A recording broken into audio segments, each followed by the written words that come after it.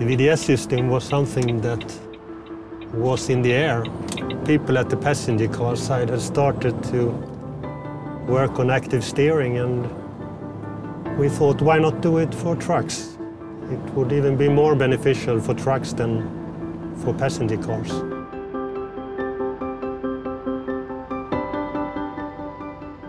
There are three features of Volvo Dynamic Steering that is beneficial for the driver. The first one is the low steering wheel force required at low speed. The second one is the disturbance reaction. And the third one is the steering wheel returnability when reversing. On a regular track without Volvo Dynamic Steering, I have to work much more when I'm maneuvering the truck at low speed. So Volvo Dynamic Steering takes away a lot of uh, the work that the driver normally has to do. The steering wheel force required to maneuver a truck at uh, low speed is a lot less with Volvo Dynamic Steering. It's about 20% if I compare with a regular truck.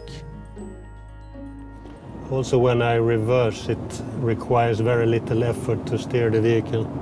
I can let the steering wheel slide back in my hands if the driver is relaxed when he's reversing, he will make uh, fewer mistakes and it will uh, reduce the risk of accidents. Imagine that we are in a timber truck in the forest. Since the road is very uneven, it's very beneficial to have the disturbance reaction. Volvo Dynamic Steering will keep the uh, front wheels straight if the driver doesn't apply any torque to the steering wheel.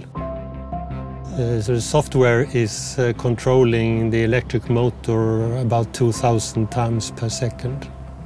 So it's very responsive to external disturbances. It's quite an amazing figure. It's uh, much faster than most systems in the truck work.